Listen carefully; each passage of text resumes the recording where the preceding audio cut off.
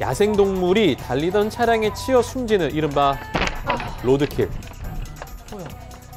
특히 겨울철은요, 이 야생동물들이 야산에서 먹이를 구하기 어렵기 때문에 농작물을 찾아 마을로 내려오는 아니, 빈도가 잦습니다.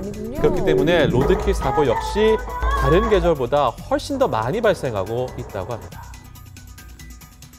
받았을 때는 그냥 아무 소리도 못 냈죠. 깜짝 놀라가지고 그냥 그런 다음에 바로 갓길에 세웠었는데 근데 진짜 그건 어쩔 수 없는 상황인 것 같아요. 그 갑자기 이렇게 튀어나 보니까 길가에 있다가 이렇게 보였는데 튀어나오는 게 아니고 그냥 갑자기 튀어나오다 보니까 어쩔 수 없는 사고가 많은 것 같아요. 네, 장소 불문하고 밤낮 구분 없이 발생하고 있는 로드킬 사고. 국도나 고속도로 잘 달리고 있는데 갑자기 달려드는 동물 그걸 어떻게 피하겠습니까? 방법 없습니다. 운입니다. 로드킬 사고는 동물과 직접 부딪히는 사고도 있고 피하다 일어나는 사고도 있습니다. 피할 때 쾅쾅쾅쾅쾅쾅 사고 결과가 더 커질 수 있죠. 연평균 2,100여 건에 달한다는 로드킬 사고, 동물뿐 아니라 사람에게도 위험천만입니다. 주행 중 갑작스럽게 튀어나온 동물들을 피하려다가 사고가 나기도 하고요. 사고 뒷수습 중 2차 사고로 이어져서 안타깝게 생명을 잃는 경우도 발생하고 있습니다. 밤에는 정말 위험하겠어요.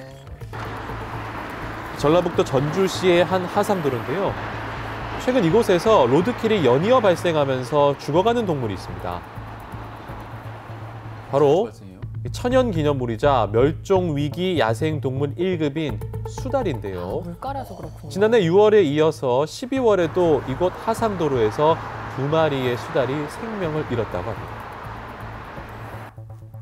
당시 수달은 빗물을 하천으로 방류하는 연결 수로를 통해 도로로 나왔다가 차에 치인 것으로 보이는데요. 이렇게 로드킬 상습 구간이 된 이유는 과연 무엇일까요? 현재 좌안도 4차선 도로가 있고요. 그 다음에 오른쪽에 있는 도로도 어, 4차선 도로로 되어 있습니다. 근데 이걸로도 부족을 해서 다리 아래쪽으로 하천변에 도로를 낸 겁니다. 그래서 신호를 받지 않고 속도를 내기 위해서 이런 언더패스들을 설치를 하고 있는데 지자체가 수달의 로드킬을 방지하고자 하상도로 위 가드레일 사이 이 철제 막이를 설치했습니다. 하지만 인근 수로를 통해 유입되는 것까지는 막지 못했던 겁니다.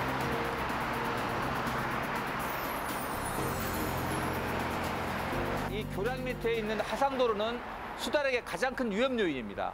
그래서 어, 이 언더패스에 수달존을 좀 설치를 해서 차량의 속도도 좀 줄이고 어, 수달이 이쪽으로 접근하지 못하는 안전 펜스도 좀 설치를 하고요.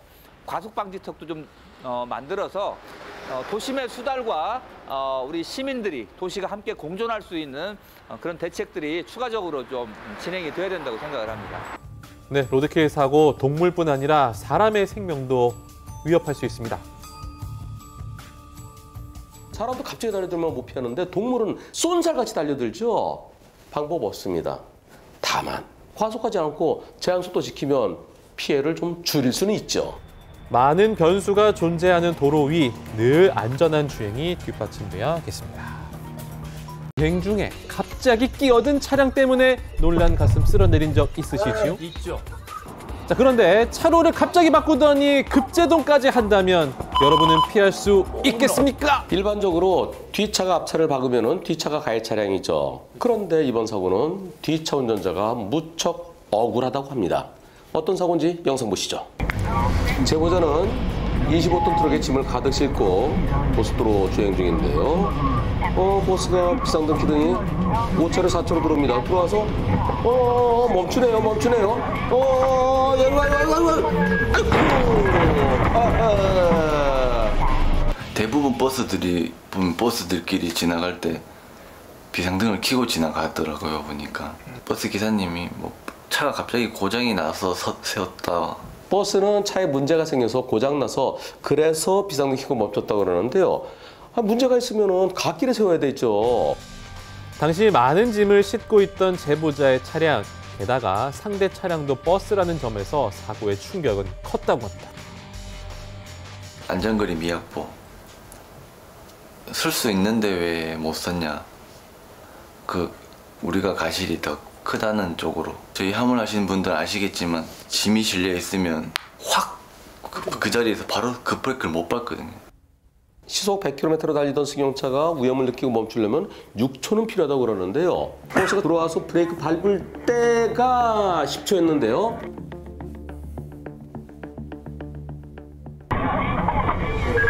꽝! 13초 끝, 14초 시작할 때입니다. 버스에 브레이크 등이 들어와서 사고 시까지 겨우 4초밖에 안 걸립니다. 4초 만에 멈출 수 있을까요?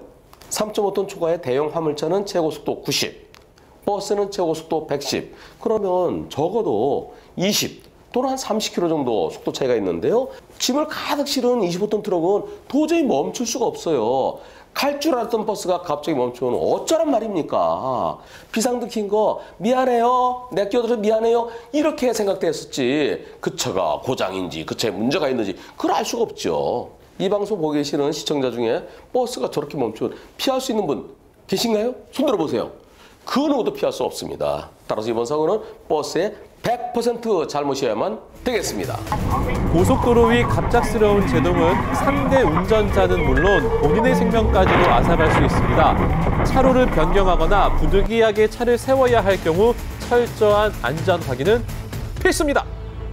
버스와 오토바이가 직접 부딪힌 건 아니고 버스에서 내리던 승객과 오토바이 사고인데요. 영상 보시죠. 퇴근길에 차가 많이 막히고 있습니다. 한참 차가 서 있는데 버스 정류장까지는 아직 좀 남았는데요. 몇십 메터 남았는데 승객이 여기서 내려주세요. 벨을 눌렀어요. 네, 그래서 이제 문을 열어줍니다. 내리죠. 내리는데 내리는데 아이고 아이고 아이고. 아이고.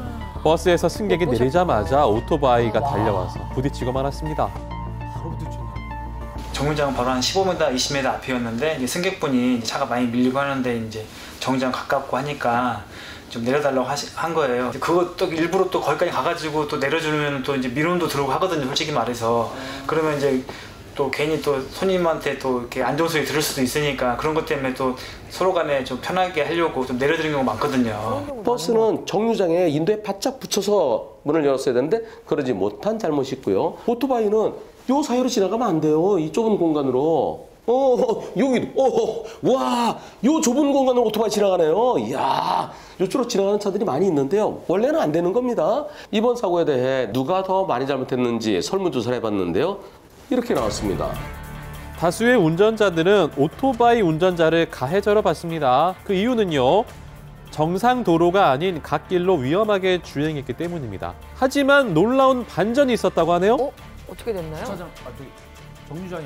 이제 경찰서 가서 이제 조사를 꾸미는 과정에서 이제 버스 운전자가 과실이 있다, 가해자다라고 하더라고요.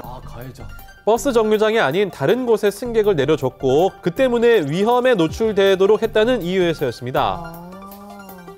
애매모호한 사고 과연 그러네요. 진짜 가해자는 누굴까요? 버스가 인도랑 넓은 공간을 남겨둔 채 승객을 내려줬다 그러면 왜 이렇게 위험하게 승객을 내려줬느냐라는 측면에서 버스의 잘못을 더 크게 볼 수 있습니다. 하지만 지금은 공간이 좁아요. 한 1m 조금 더 될까요? 저 좁은 공간으로 오토바이가 왔다는 거. 오토바이는 자동차랑 동급이에요. 자동차랑 똑같이 와야 되는데 길 가장자리 갓길로 왔잖아요. 그 자체가 잘못이죠. 따라서 이번 사고는 오토바이 잘못이 더 커 보이고요. 오토바이 60, 버스 40 정도로 보입니다. 잘못된 운전 습관이 큰 인명사고를 불러올 수 있습니다. 오토바이도 한 대의 자동차라는 인식을 갖고 주행 시 조심 또 조심하는 습관 길러주시기 바랍니다. 네.